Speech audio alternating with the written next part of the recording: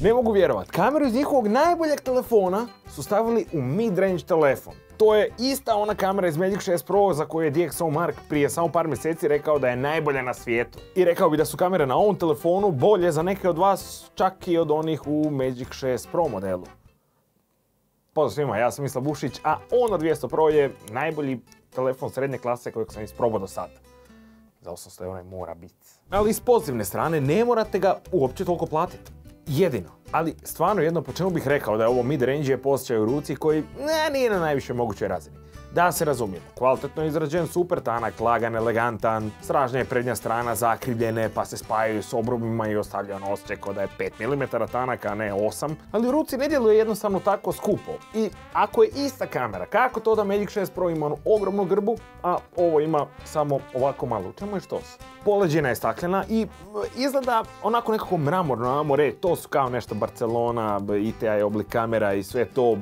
Gle, u bijeloj izgledi se ne packa, to je meni super. Okvir je polikarbonatni, rekli su mi da je to fin način da kažem da nije metalni ako me razumijete. I uvijek se ljute na mene kad ja kažem da je nešto onako lošije, a što se ne ljute na one koji su proizveli telefon, pa njima kažete hej, mogli ste malo bolje. Ali ne može biti bolje, zato što bi jednostavno, ko bi kupio Magic 6 Pro? Ali kad se maknemo te izrade, sve dalje se čini kao u top modelima. Zaslon fantastičan. Rekao bih da mu za ono top top kvalitetu fali možda jednu mrvicu svjetline. Sve je to stvarno dobro vidljivo na suncu. Nije sporno uopće, nego samo hoću reći da je Magic 6 Pro ipak malo bolji. To ono ako baš tražimo sada neku zamjerku, nije lako naći. Mada iz kutije izlazi praktički savršeno kalibriran s bojama, delta je manji od 0.3, ukratko perverzija.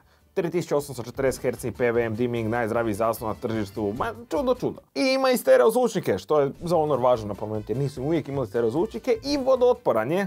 Ok, ne baš full vodootporan, tako da ako popijete par brusnica i odlučite skočiti u bazen, rađe nemojte. Ali ga zalijete u bircu, uz tih par brusnica vjerojatno mu ništa neće biti. Zato je software isti kao i u Magic 6 Pro modelu.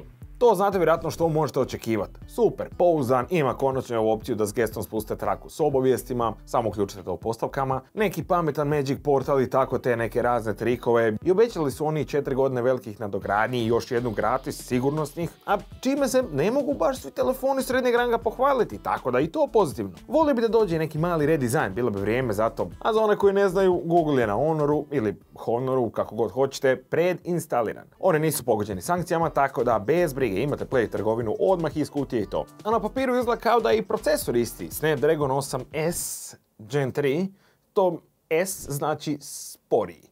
Procesor ima stvarno toliko snage, znači to vam je nešto al pari Snapdragona 8 Gen 2 koji je prošlogodišnji najjači procesor. Ukratko, ne bi se sekirao oko baš ničega, ima snage, ono, ovo je najjači midrange, najjači midrange, nema šta više reći. Ali ono gdje nema snage je u vibraciji i ja stvarno ne znam Zašto? Evo, već godinama imamo telefone s lošim vibracijama. Ono, zašto ja moram hodati gradom i biti na zvonjavi samo da čujem kad me neko zove?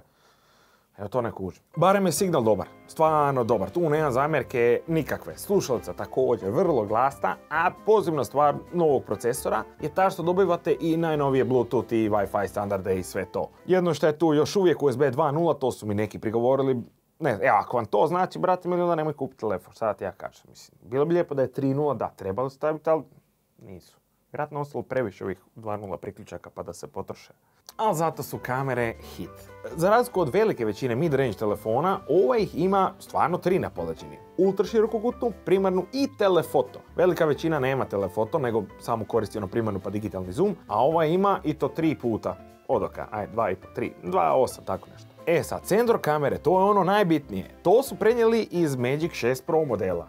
To je, znači, ono glavno za fotku, ajmo to tako reći. I s tim da su ovaj put u suradnji sa Hardcore Uglavnom, to je pariški fotostudio, jako poznat, već 100 godina ima povijest, fotkao sve glumce moguće i tako to. Složili su te posebne portretne načine, zbog kojih će vam ovaj telefon možda čak biti primljiviji od Magic 6 Pro modela. Bombona kako lijepo ispadaju portreti, pogotovo ovaj za osmrtnice. Upravo zbog tog portretnog načina, s tim studijom kojeg Magic 6 Pro još uvijek nema, moguće da će ga dobiti kroz neku nadogradnju, ali kažem, nekima će ovo biti bolje možda čak i od njihovog najboljeg telefona. Ali istina je da je Magic 6 Pro s kamerama ipak bolje uređen nije sporno, da se razumijemo, gledajte, ovo je najbolji mid-range po pitanju kamera. I iako imamo isti senzor, kao u njihovom top modelu, nije samo senzor zaslužan za fotografiju, nego ovi procesori njegovi ISP, pa onda leće, pa još tako neke stvari su bolje na Magicu i onaj ko je baš znalac on će to primijetiti. I tu za sad pričamo samo o primarnoj kameri. I nema govora da je Honor 200 Pro tu perverzno dobar. Doslovno možete uhvatiti vrhunske fotografije.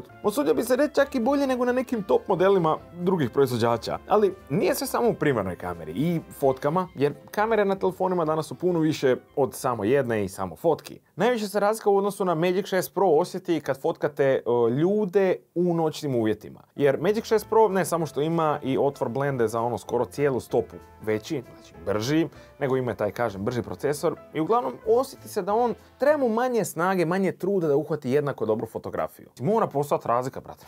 ne može to biti isto baš. A i popratne kamere su osjetno lošije od primarne, iako i dalje odlične, pogotovo za srednji rang. Ali opet nisu na najvišoj razini kao što to dobivate na recimo nekim top modelima. I ovo samo napominjem zbog toga što se sa mnogim stvarima ovaj telefon doima kao top model. Ali ipak je srednji rang. Svejedno, Honor je napravio nevjerojatno dobar posao, Pogotovo ako pričamo o kamerama i fotografijama, ono svaka čast. A i selfie kamera, stvarno dobra, nemam riječi za nju, ono, mislim, snima i relativno širok kut, nije ono najširi kojega sam vidio, ali sve u svemu, stvarno zgodan set kamera kako god okrenete. Što se videa općenito tiče, on je kao i uvijek daleko najbolji s primarnom kamerom jer je senzor i najsposobniji, logično. Ali evo, jedna stvar koju recimo nema odnosno na top modele je snimanje u 8K. Evo, i opet se referiram kao da je top model. Nije mid-range i normalno niti ja mid-range nema snimanje u 8K, ali to nije stvarno tako nebitno. Video je, gledajući općenito, sasvim solidan. Za srednji rang, rekao bih i baš dobar. Ok, nisam direktno usporedio, tako da video možda nije baš sad ono top, top, top, ali za srednji rang stvarno dobar. No, ono što je isto tako jako dobro i baterija 5200 mAh i to ona neka njihova posebna silici karbonska, ti silici ugljična, silikon karbonska, svačate. Nema brige za cijeli dan korištenja. Nije najbolja koju sam isprobao u srednjem rangu i od ovog kapaciteta bi možda neki očekivali još i više, a meni, ako mene pitate, ovo je stvarno odlično. Što ne mogu nužno reći za pakiranje jer je, čekaj, gledao, jabukica. Ali ono zna da je naše tržište osjetljivo i ono se osjetljivo ovako pametno vrlo. Da će vam pokloniti odmah u startu Bluetooth zvučnik, pametni sat, brzi punjač 100 vata i još 100 eura. To ga kupite za 800 u trgovini. Ali moj savjet je kupite ga kod operatera gdje će biti ono čak i duplo povoljniji i dalje ćete dobiti ova tri poklana i 100 eura, ali dobro. I, a nema šta imam više za reći. To je to, telefon je za preporukicu. Samo ne baš za te pare, ali definitivno je, pašće cijena požurite za kupnju. I eto, toliko od mene danas i vidimo sljedeći put. Lajkaj, pretplati se, srcati.